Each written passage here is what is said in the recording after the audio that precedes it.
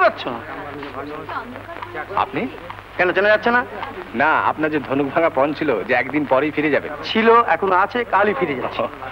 আপনার মেয়ে জামাই সব ভালো তো। ওই কথা আমাকে বলবেন কেন কেন কি হয়েছে? হ্যাঁ? বললাম কলকাতায় ফিরে চ বাড়িটা খাঁ খাঁ করছে যাবে না। আরে মূর্খ সবই তো দেখলাম। একশো সাত টাকা বাইনে মসুর ডালের জল আর ভাত গিলে রয়েছি ছেলেপুলে? একটি নাতি? আমি আপনাদের সবচেয়ে বড় শত্রু। ও আপনাকে বুঝি খুব দাদু দাদু বলে। সব মায়ের বন্ধন কাটিয়ে দিচ্ছি ভাই আর আমায় কেউ আটকাতে পারবে না। যাবে নাকি মেয়ের বাড়ি? আমি? কি হবে এই বনমালারে ঘুরে? চলো মানে আমার- চলো তোমার ভালো লাগবে। না, আমার মেয়ে জামাইয়ের বাড়ি তোমার সত্যিই খুব ভালো লাগবে। খুব ভালো। এই যে স্যার নমস্কার। নমস্কার স্যার। একটা কথা ছিল স্যার। কি ব্যাপার? মানে আপনার কাছে ক্ষমা চাইতে এলাম। হ্যাঁ ক্ষমা চাইতে এলাম। কেন? চল। না মানে হয়েছে কি? একটু ধুলো নি আপনার। মানে যদি ট্রেনে আমরা আপনার সঙ্গে কোনো খারাপ ব্যবহার করে থাকি আমরা তার জন্য অনুতপ হ্যাঁ। ভালো ভালো শুনে খুশি হলাম। কিন্তু এই মেয়েদের সঙ্গে এড়িয়ে চলবে। আরে না না আমরা তো মিশি না। কি রে মিশি? না না না করো ফুর্তি করো কিন্তু ওই কুয়োগিনীদের সংস্পর্শ এড়িয়ে চল বুঝতে পেরেছ? হ্যাঁ। এই যে আমার মেয়ে হ্যাঁ। বলে কিনা বাবা চিনি না। হ্যাঁ? হ্যাঁ কেন? মণিকাঞ্চন যোগ কি হয়েছে? লাভ এর আরে ঝাড়ু মারাবো লবের মুখে। ও পরমেশ বাবু হ্যাঁ? চলুন দেরি হচ্ছে তো। বলছো? চলো।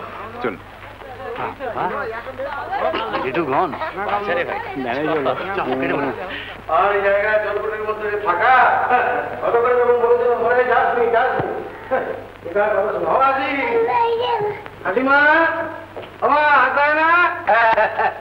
হ্যাঁ এই আমার মেয়ে হাসি আর সমর। ট্রেন আলাপ হয়েছিল?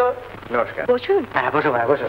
জামাই কোথায় কোনো মুরগি কাটছে। কাটু কাটু আচ্ছা বাবা হ্যাঁ? কেন তুমি অতগুলো মুরগি কিনেছো?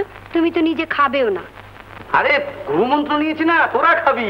বুঝতে ভাই বাজারে গিয়ে দেখুন সকলে বেশ ঝুলিয়ে ঝুলিয়ে নিয়ে যাচ্ছে তাই তাই বলে তুমি নিয়ে আমায় খেতে ভালোবাসে। তাই বলে তুমি অতগুলো নিয়ে বেশ করেছি খেতে আমায় খা নাহলে ফেলে দে।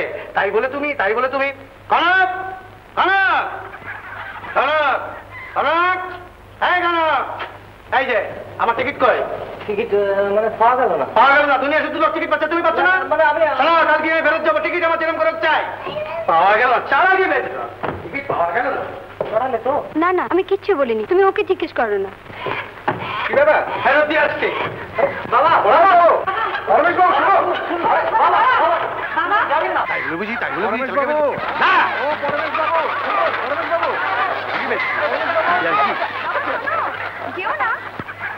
বাজার থেকে কিনলেন বুঝি হ্যাঁ ডিলিশিয়াস আমরা এখানে বাদ না দরকার আত্ম বাড়ি কাটতে পারি আপনি কেন আপনি কেন কষ্ট করছেন না, না, না, না, না, এই, এই, এই, আপনি বাড়িটা বলুন না,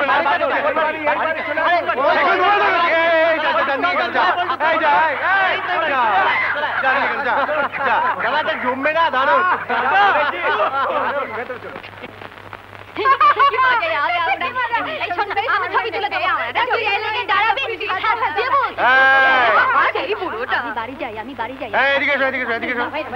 এদিকে এসো এদিকে এসো এদিকে এসো খেলছিস কেন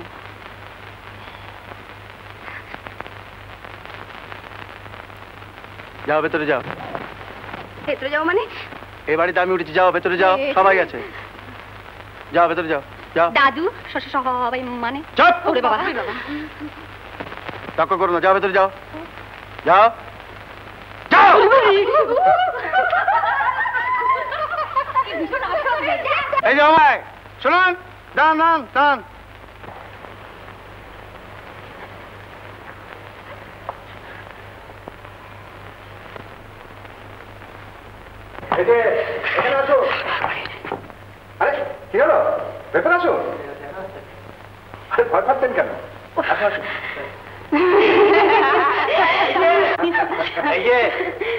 সময়ের মতো দাঁড়িয়ে থাকলে চলবে না ভেতরে গিয়ে হাত লাগান যান।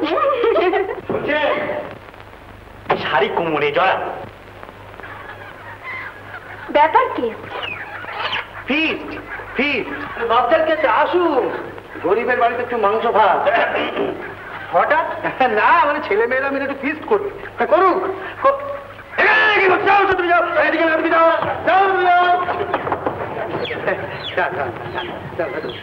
যাও,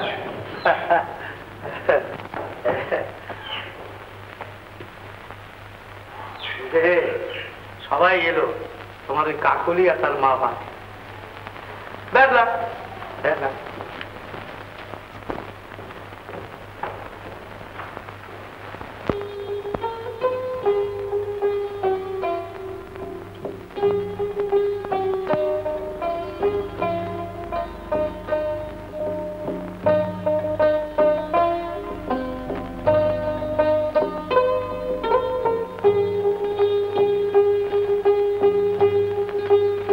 অসাধারণ।